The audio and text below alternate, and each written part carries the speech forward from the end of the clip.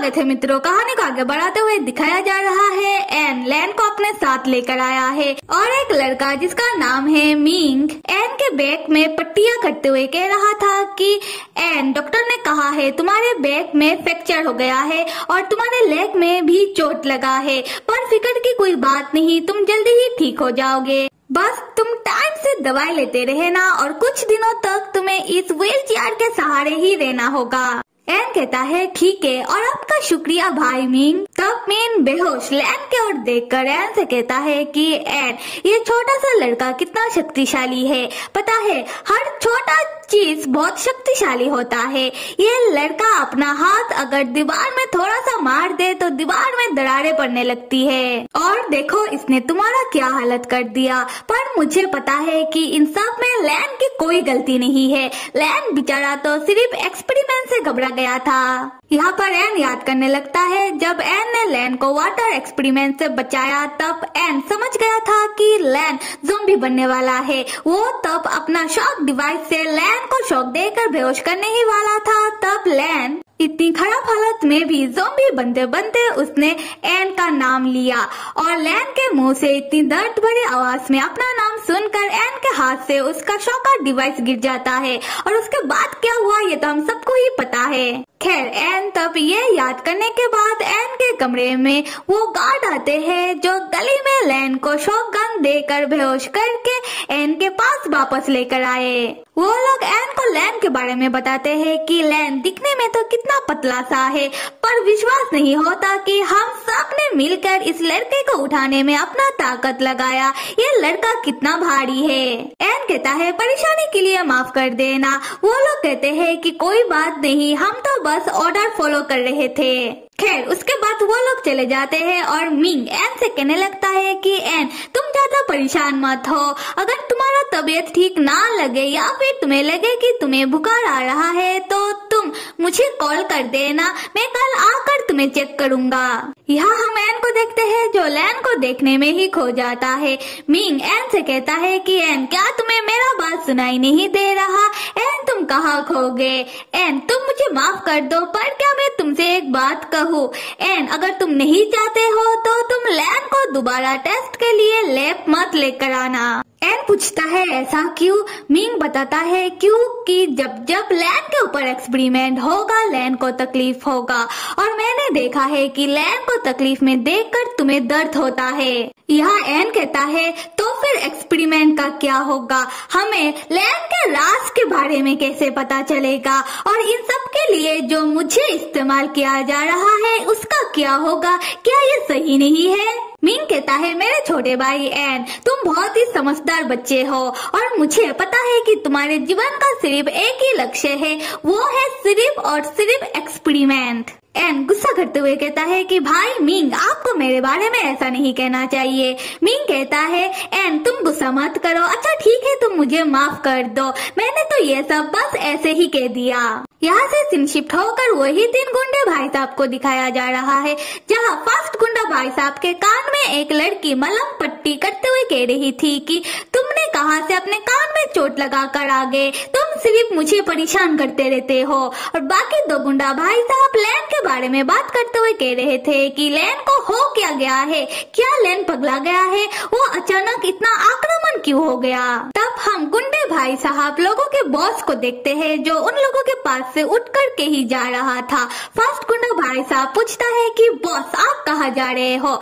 Boss कहता है कि, मैं हमारे बिग बॉस से मिलने के लिए जा रहा हूँ। फ़र्स्ट गुंडा भाई साहब कहता है कि बॉस आप रुक जाइए, मैं ड्राइव करके आपको उधर लेकर चलता हूँ। बॉस कहता है, कोई ज़रूरत नहीं है, मैं चला जाऊँगा और इस बार जीत सिर्फ़ और सिर्फ़ मेरा होगा। यहाँ से आते हैं एन और लैन के और जहाँ मिंग एन को लैन के पास उसके कमरे में छोड़कर वो चला जाता है और एन अपना व्हील चेयर को चलाते हुए बिस्तर के पास आता है और बेहोश लैन के सर में प्यार से हाथ रख कर सोचने लगता है कि कैसे एन ने पहली बार लैन को देखा था और उस समय लैन कोई जोम्बी नहीं, बल्कि एक इंसान था। सो so, वह कुछ ऐसा था कि एन कहीं जा रहा था। उस समय एक बिल्डिंग के छत से बहुत सारे पेपर प्लेन एन के सर में उड़कर गिरने लगते हैं। एन तब उनमें से एक पेपर प्लेन उठाकर खोलता है जहाँ किसी ने किसी के लिए एक नोट लिखा हुआ है। एन उस नोट को पढ़कर छत के ऊपर ये चेक करने के लिए जाता है कि इतने सारे पेपर प्लेन में नोट लिखकर उड़ा कौन रहा है। तब पहली बार एन लेन को देखता है, जो पेपर में नोट लिखकर बहुत सारे पेपर प्लेन एक के बाद एक उड़ा रहा था। तब हम एन के हाथों में उस पेपर प्लेन में लिखी हुई नोट देखते हैं, जहाँ लैन ने लिखा था कि तुम जहाँ भी रहो, खुश रहो, और मैं तुमसे हमेशा प्यार करता रहूँगा। तब लैन की नज़र भी एन की ओर पड़ता है, जो उसे ही देखे जा रहा था। खैर, अगर हम इस पेपर प्लेन में लिखी हुई नोट की बात करें तो इतना तो समझ में आ रहा है कि ये नोट जोई के लिए था। अभी एन के सोच से बाहर आते हैं, जहाँ एन के टच से लैन जाग जाता है और अपने सामने एन को देखकर लैन गुस्से में आग बबूला होकर एन का गिरेबान पकड़ के एन से कहता है कि एन अभी तुम्हें मुझसे क्या चाहिए? एन साले कमीने, तुम तो एक नंबर के स्वार्थी निकले। तुमने मुझसे झूठ क्यों कहा? एन कुछ तो जवाब दो। एन कुछ नहीं कहता, बल्कि खामोशी से सोचने लगता है कि मुझे तो कुछ सूझ ही नहीं रहा। इस हालत में मैं तुम्हें क्या जवाब दूँ? लैन, अगर मैं तुमसे कुछ कहूँगा, उसका कोई फ़ायदा तो होगा नहीं। लैन, क्या ये अच्छा होगा कि मैं तुमसे माफ़ी मांग लूँ? लैन, तब एन का खामोशी देखकर उसे गुस्सा आने लगता है। और लैन एन को पकड़ के एक के बाद एक मुक्का मारते हुए एन से कहता है एन कुछ तो शर्म करे। लैन को डर नहीं लगता एन को मारने से। लैन चाहे तो एन को अभी के अभी जान से मार सकता है। एन तब जैसे ही लैन से माफ़ी मांगने वाला होता है, लैन गुस्से में कहता है, तुम चुप रहो फिर एन को खांसी आ जाता है, वो ज़ोर ज़ोर से खांसने लगता है, ये देखकर लैन डर जाता है और एन से पूछने लगता है कि एन मैंने तो अपना ताकत तुम्हारे ऊपर इस्तेमाल नहीं किया। एन तुम ऐसा क्यों कर रहे हो? एन को देखते हैं, जिसके नाक से खून आने लगता है, और ये ज़ाहिर सी बात है, ये लैन के मुक्के का कमाल है। खैर, आते हैं स्टोरी में लैन तब कुछ शांत होता है, और एन को गौर से देखने लगता है। एन जो व्हील चेयर में है, ये देख कर लैन परेशान होकर बिस्तर में बैठ कर एन से कहता है कि एन क्या मैं जोम्बी बन गया था? एन मुझे कुछ याद नहीं। जोम्बी बनने के बाद मैंने क्या किया? एन तब कोई जवाब नहीं देता, बल्कि अपने चोट में मलम पट्टी करने के लिए वो चला जाता है। कुछ देर बाद एन धीरे धीरे चलकर अपने कमरे में आता है और लैन को उदास होकर अपने बिस्तर में पड़ा हुआ देखता है। एन लैन से कहता है कि लैन खबरदार तुमने अभी रो धोकर अपना आँसू और अपना नाक मेरे बिस्तर में झाड़ने की कोशिश की तो। लैन एन के ओर देखकर गुस्सा करते हुए कहता है कि, तुम अपना बकवास बंद करो और बताओ कि मेरा कपड़ा और मेरा फ़ोन किधर है? एन तब कुर्सी में बैठकर लैन से कहता है कि वो तो मैंने दरवाजे के सामने रखा है। लैन तब उठकर जाने लगता है। एन लैन से कहता है कि, लैन, तुम मत जाओ। तुम कुछ दिन मेरे घर रुक जाओ। यही तुम्हारे लिए अच्छा होगा। क्योंकि बाहर, लैन तब एन की बात आधी सुनकर एन को चौंक कर कहता है कि, क्या? एन तुम्हें जो मुझसे चाहिए था, वो तो तुम्हें मिल गया। तुम्हें मेरे ऊपर एक्सपेरिमेंट करना था, वो तो तुमने कर लिया। और मैंने भी अपना गुस्सा तुम्हारे ऊपर तुम्हें पीट पीट निकाल लिया। तो हमारा हिसाब बराबर ठीक है।